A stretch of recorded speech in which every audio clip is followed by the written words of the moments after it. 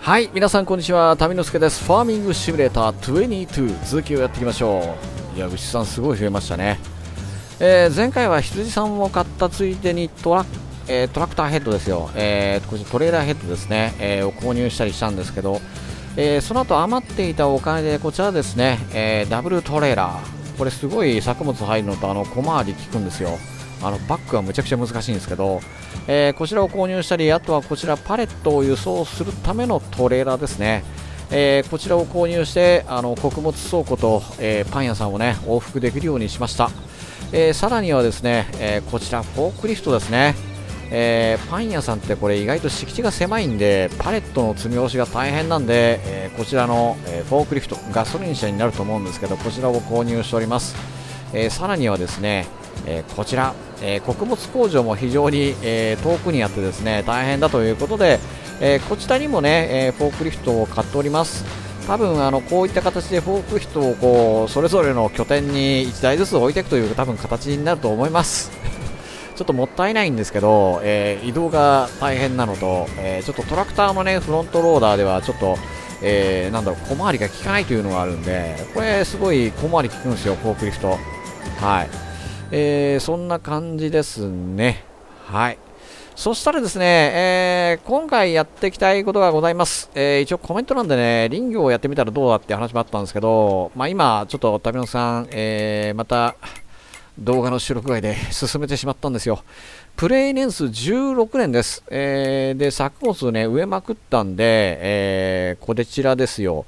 えー、今、16年目の1月で、えー、トウモロコシだったかな、あの売却したことによって、えー、現在100万ドル近くを今月儲けたと、え、さらにはこのゲームでいう先月、12月に12万ドル、まあ、その前の月はあのほぼ赤字なんですけど、え、なんとかそれで138万ドルということで、まあ、50万ドルの借金があるわけなんですけど、130万ドル手持ちがあります。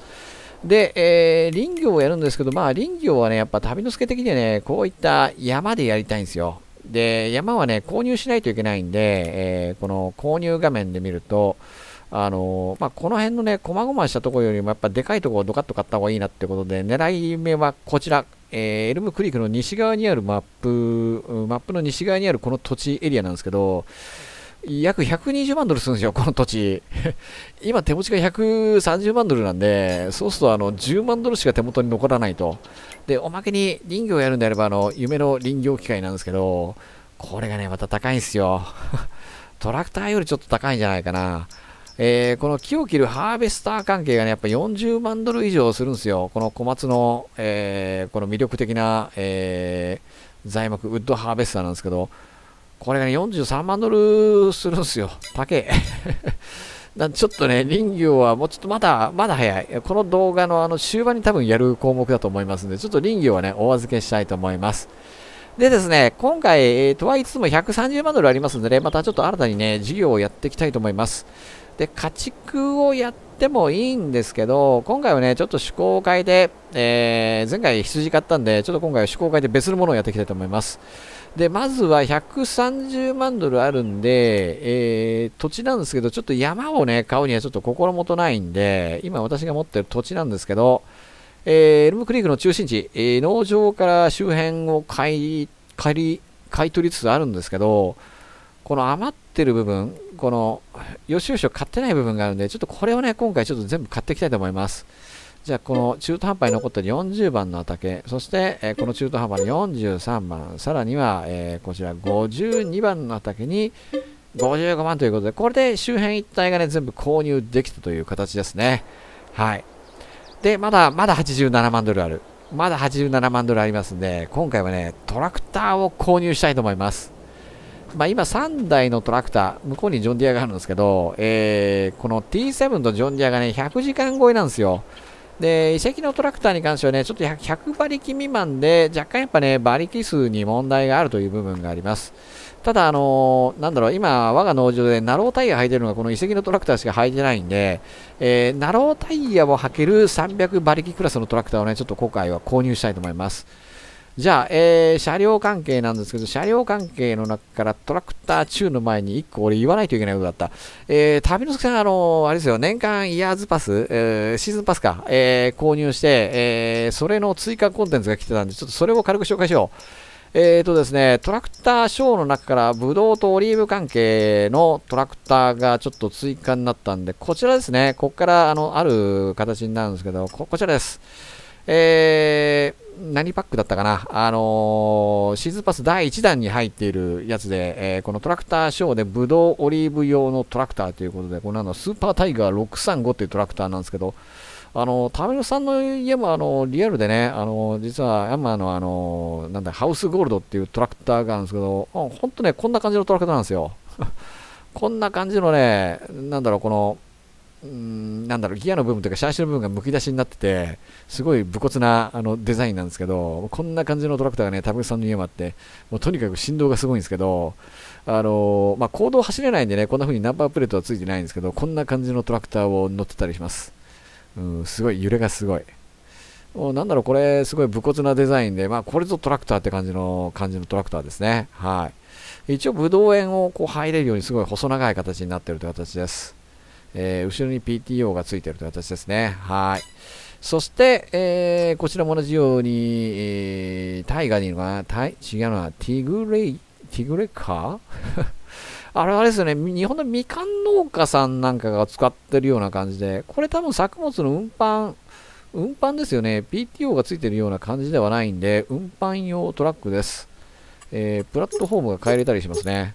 はい、拡張、えー、あとタイヤが変えれたりするんだ。あ、これ細くすると細、これこそ日本のみかん農家さんとかなんか使ってるような感じのやつですね。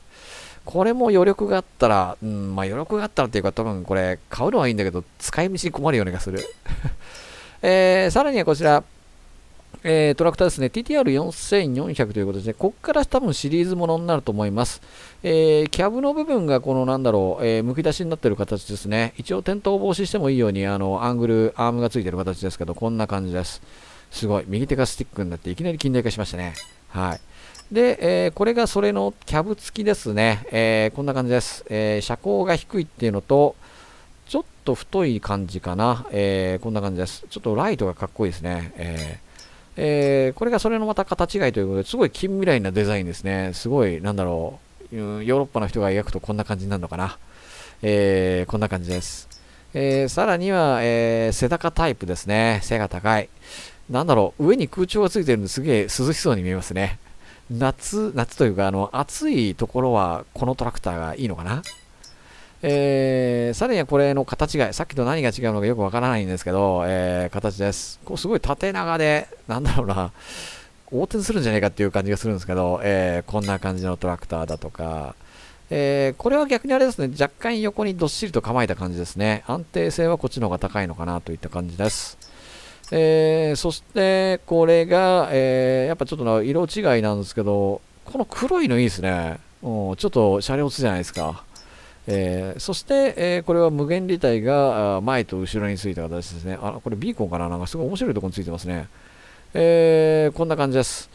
え、ちょっと旅の線まだね、ブドウとオリーブやってないんで、これらのトラクター買いたいんですけど、まだ買う理由がないんで、とりあえず眺めるだけということで、これはちょっと面白そうだな、この この車両。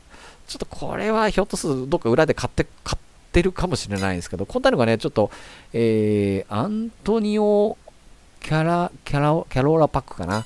えー、というシーズンパス第1弾で追加されたコンテンツをちょろっと紹介しました。で、えー、今回やりたいのはそんなことじゃないんですよ。トラクターを買いたいんですよ。えー、でも、まあ実は何買うかもうすでに決めてるんですけど、えー、余ったお金で今回こちら買います。マッセイ・ファガソンの MF8S、8S ですね。えー、こちらを購入したいと思います。えー、これはね、えー、なんだトラクター中の中でも割と高馬力のクラスになるんですけど、エンジンを乾燥すると、え325馬力。一応300馬力を超えるとこのゲームかなり楽になりますんで、300馬力超え OK ですね。で、さらにね、フロントローダーが取り付けれるんですよ。取り付けれる車両と取り付けれない車両があるんで、これはフロントローダーが取り付ける。そして、えー、タイヤの構成でね、ナロータイヤが選べるっていうね、なかなかね、トラクター、でかいトラクターになるとナロータイヤが選べれないんですけど、このトラクターはナロータイヤが選べれるんで、あの除草剤ですね。除草剤巻くときによく旅の助あの作物を踏みつけてしまいますんで、えー、今回はちょっとこの応用の器具、マッサイ・ファーガソンの MF8S、こちらを購入したいと思います。じゃあちょっとナンバープレートだけ変更しよう。はい。じゃあこれで、えー、マッセイ・ファーガソンの MF8S、はい、購入です。23万ドル飛んじゃった。そしたらですね、今回土地を買いました。で、新しい事業をね、またやっていきたいと思います。前回羊で畜産やったんで、えー、まあ豚さん買ってもいいんですけど、畜産も続けているのもあれなんですんで、えー、今回ファーミングの22で新しく加わったあの、グリーンハウス。このグリーンハウスをね、やっていきたいと思います。今頃グリーンハウスなのかよって話なんですけど、えー、そしたらですね、建築モードで先ほど私購入した、えー、畑ありますよね。えー、こちらの52番の畑、ここを潰して、ここにね、ちょっとグリーンハウスを作りたいと思います。そしたらまずグリーンハウスを建てるために、一回畑を潰しましょう。えー、草地にしてちょっと潰します。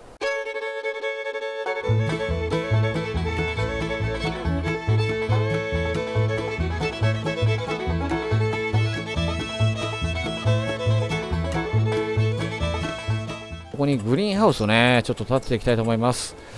えー、っと、まあ、小中大とあるわけなんですけど、まあね、お金持ってますんで、えー、大は小を兼ねるじゃないですけど、ちょっともうでかいやつを私はやっていきたいと思う。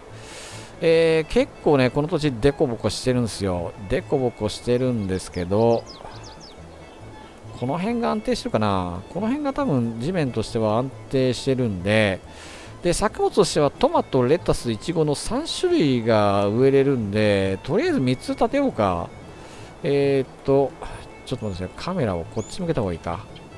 えー、水ですね。水が必要になるんで、水を加えるわけなんですけど、まっすぐはここかな。こっからじゃあ横にどんどんと3つ置きますか。じゃあ置きますよ。ちょっと待って、平らじゃねえな。平らじゃねえ。まあいいや、多少デコボコ、デコボコの方がちょっとリアルかな。じゃあ行きます。ドン。はい。1軒目、そして、はい、2軒目、そして、はい、3軒目ということで、とりあえず3つ立てました。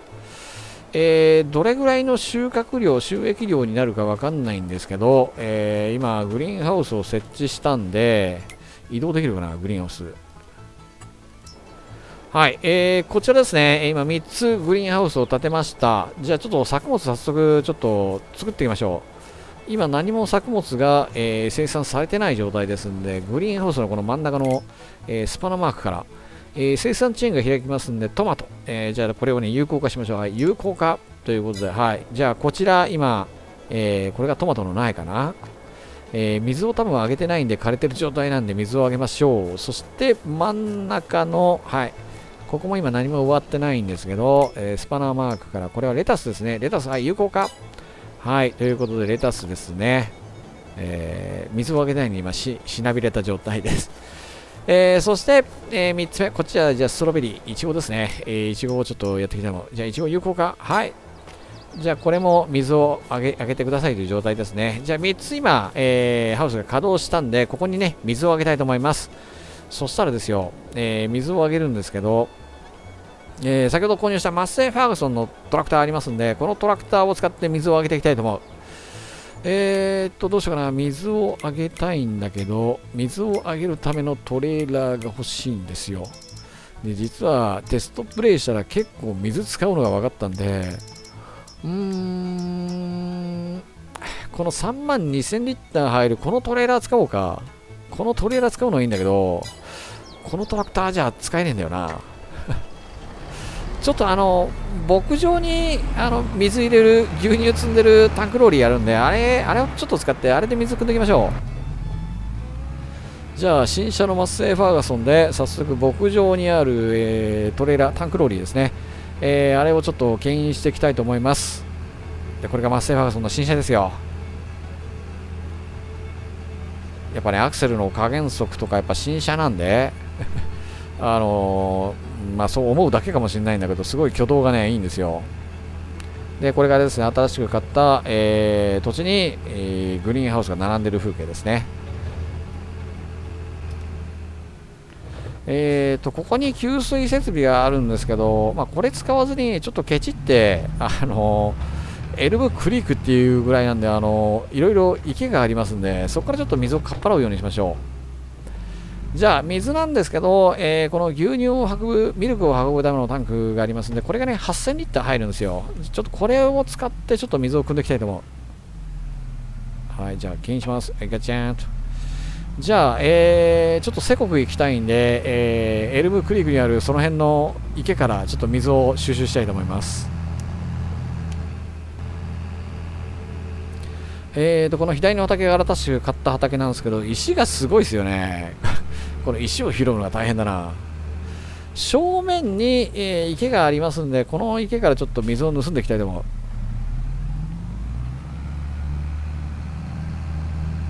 こういうのはね、思いっきし行くべきなんですよ。もう思いっきし、ダメシャーンって言って、で、トレーラーを補給するって言ったんで、はい、水を補給します。えー、これどうやって水を補給してるのかわからないんですけど、今、水がこの中入ってるんですよ。新車なのにね、すぐこう泥浴びをしてしまうという。はい、満タンになりました。8000リッターの水が入ったんで、これをね、じゃあ先ほど購入したグリーンハウスに水与えていきましょう。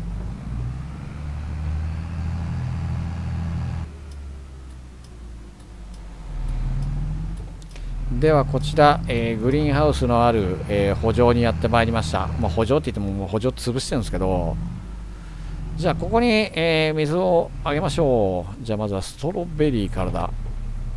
じゃあこの青いのがあれですね保水タンクですね。はい水を下ろします。はいジャバジャバジャバジャバジャバジャバと。さあ今このタンクから、えこの青色のタンクここに、え水が補給されていっているはずです。あちょっと水が与えられたんだですね。枯れてたのがちょっとあの青々と緑が復活した感じです。いいですね。はい7999リッター。全然足んねえよと。足んないんですけど。えー、ちょっと全部やると大変なんでもう 1, 1個ずつ8000リッターずつとりあえず放水していきましょ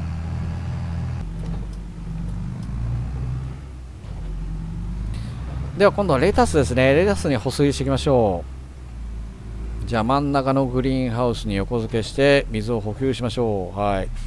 水補給。よしこれでレタスが青々しくなってきたぞ。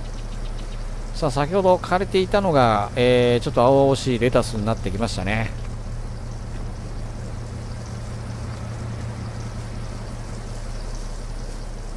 ちょっとドアだけ閉めとこうか。寒いんで。はい、えー、今水が終わった。よしじゃあ次はトマトだな。トマトに水をあげよう。これところでここで水くべるかな。無理そうなんだけどここで水くべたら神だよな。くめくめくめるわけねえか 水汲めないようです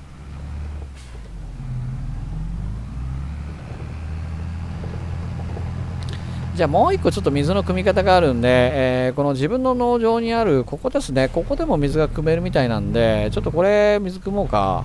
はい、補給開始。はい、ジョロジョロジョロジョロジョロと。これね、お金取られるんですよ。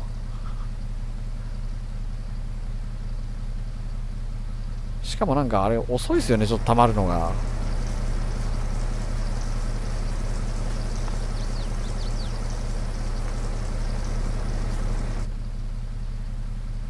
これ絶対あの池で吸った方がこれ肺炎じゃねえか説なんですけどカレーもなんかむっちゃくちゃ取られるし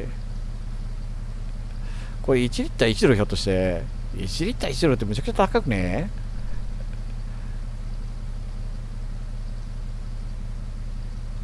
ちょっと一応値段見てみようかえー、多分水道代っていうのは取られてるはずなんでまあでもあれかこれ牛舎で使ってる水の水道代とかも含まれてるからえっ、ー、と、173、増えてる ?100、100、わかんねえ。えー、違うな、800ドルだ。8000リッター、ん ?1 ドル、1ドルってことはないか。10リッター1ドルか。10リッター1ドル。10リッター大体110円ぐらい？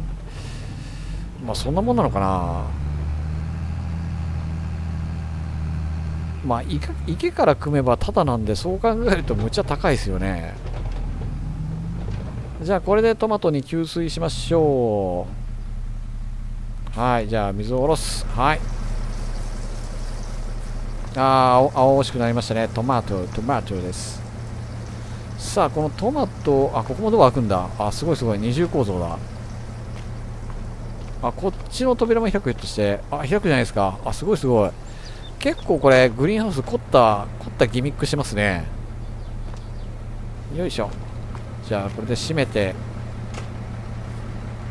じゃあちょっとエンジンを止めよう。はい、えー、というわけで今回はですね、えー、新しく土地を、えー、購入して、えー、その土地の中からこちらグリーンハウスですね、ファーミングの22へ加わった機能ということで、他の実況者さんはね、本当第1話とか第2話ぐらいで金儲けができるって言ってやってたやつを今頃になってやったと。えー、そして、えー、トラクターがね、いよいよ100時間超えで、えー、2台、2台というか3台では回しちゃいけないということで、新たにね、えー、こちらマッセイ・ファーガソンの M、MF、8S ですね。新しいトラクターを購入したという形で今回お別れしたいと思います。それでは皆さんご視聴いただきましてありがとうございました。